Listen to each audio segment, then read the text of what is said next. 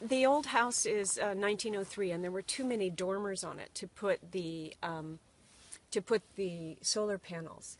So we put them um, in the garden, and it always seemed to me a waste of space if I wasn't doing something with it.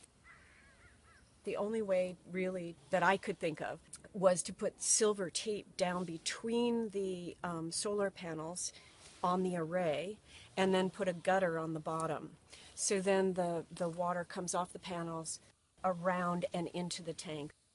It serves this zone of the garden, which is the roses, for two or three months, and that's by hand. So I just do gravity feed with a hose from these tanks.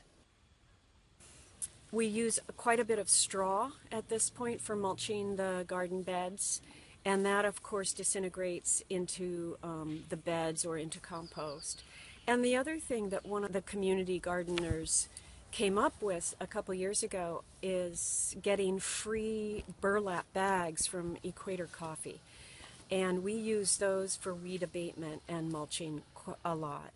And they disintegrate also so that um, they can either stay in the beds and we can plant over them like lasagna mulching, or we can put some of it into our compost bins.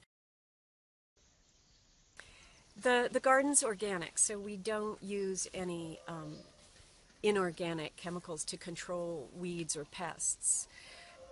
So I've added a bat box and an owl box. Uh, the owl box came from hungryowl.org, which promotes the non use of chemicals in the soil because that way the owls take care of the rodents instead of um, having to put baits out.